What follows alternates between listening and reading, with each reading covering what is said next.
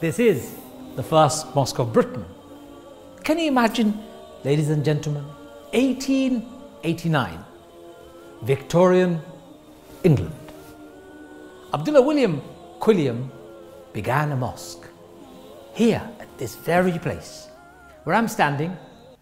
This is where many people embraced Islam. This is where the foundation for Islam in Britain was laid.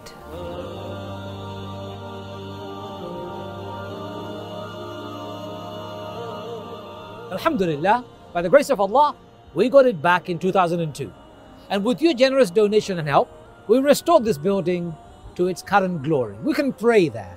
We can provide basic services, but it's not enough.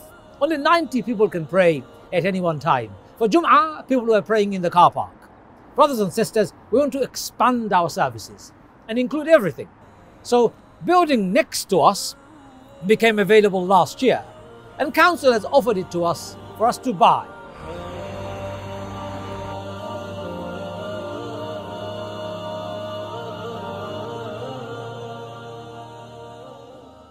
Come with me and let me show you the potential that lies behind this amazing building. 50,000 square feet of space. We can do anything we want.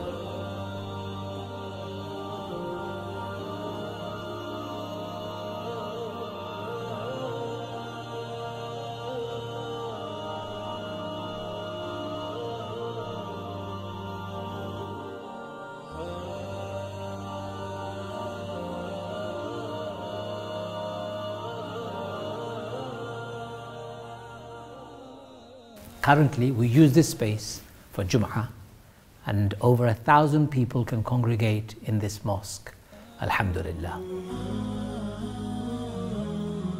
Brothers and sisters, as you have seen how huge this building is, we've got ample space to run every conceivable program for the Muslim community in Liverpool and, of course, the country, from funeral to weddings, to education to entertainment.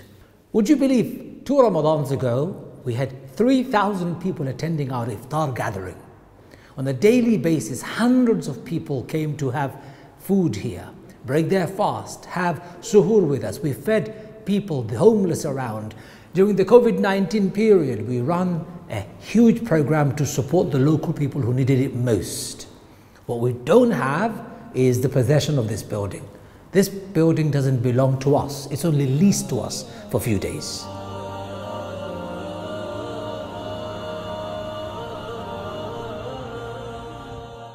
Brothers and sisters, for us to secure this mosque, this building behind me, we need to raise £500,000. You can donate any amount you like and help us buy the building from the council. We are also launching our Al Qalam donor wall. You can put your name or the name of a loved one on our donor wall. Anyone who comes here, who sees the wall, reads the name, makes dua for you, it will become a sadaqah jariyah for you and your loved ones. Please donate generously and participate in securing Britain's first mosque future.